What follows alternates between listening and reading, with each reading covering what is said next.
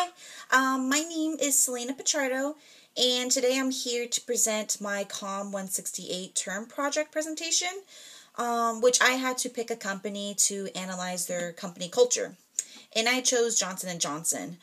So before I really um, dive in and get into the meaty details of my presentation, I just wanted to give some basic information about the company that I chose. Uh, Johnson & Johnson was founded in 1886 by three brothers, and they wanted to be pioneers in establishing home healthcare products. So they were the first company to create um, a first aid kit for every single home. That was their ultimate goal. Um, and of course, when we think of Johnson & Johnson, we think of Band-Aids because they created that as well. But one thing that I found really interesting when I was researching on their company website is that Johnson & Johnson was one of the first companies to start creating women women's health products um, during the 1930s, which is an interesting period of time for women because women's rights was still a huge issue, and also um, health issues regarding women was still in the infancy stages. So the fact that this big company was creating products for women during this period of time, um, I found that really interesting. They just recently celebrated um, 125 years back in 2011, and based on numerous financial reports you can find online, um, their company po- profit for 2014 was listed as 16.2 billion dollars. So they're doing really well for themselves. So the first thing that I wanted to discuss about Johnson Johnson um, was a program they have for their employees called Employee Resource Groups. Um, this program allows employees to break off into smaller groups um, based on similar interests and allows people in the company to network and gain opportunities for professional development.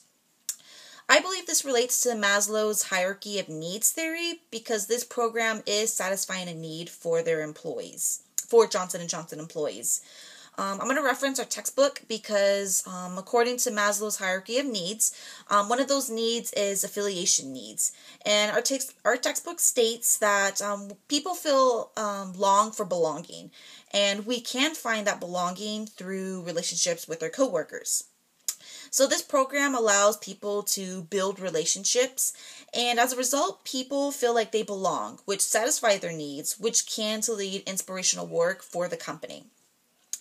Um, if you look at Johnson & Johnson's uh, social media posts, you'll find that a lot of their content regards um, is about family.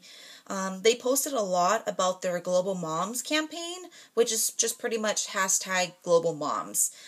Um, it was a campaign leading up to an event that happened on May 1st in New York City. Um, the event was called Moms and Social Good. Um, this event um, pretty much promoted and the power of mothers and families, which can create a better environment for our communities. Um, they also released um, an updated parental leave policy. Um, they published this on their social media and originally was posted on the company blog website. Um, this policy states that mothers and fathers have an additional eight weeks paid leave um, during the first week of the family's birth or adoption. Now, keep in mind, this eight additional weeks is on top of the original company policy, which means mothers can take up to 17 weeks of paid leave um, when they have a child or when they adopt a child, which is pretty good considering most comp- most mothers get about six weeks paid leave. Some companies give you five weeks paid leave.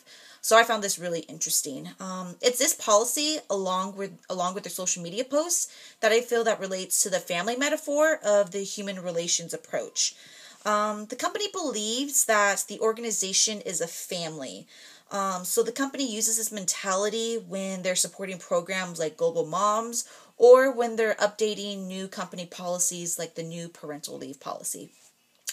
Um, these are the two things that I really wanted to focus on because I found they were the most interesting. Um, and also because it really relates to all of us on some level. We all want to work for a company that we feel like we belong with. Um, when we start having families, we're going to want to work for a company and we're going to be looking at what type of uh, maternity and paternal paternity leave programs they have. So I feel that these were really interesting aspects of the company. I really enjoyed researching Johnson and Johnson. Um, thank you for your time and have a nice day.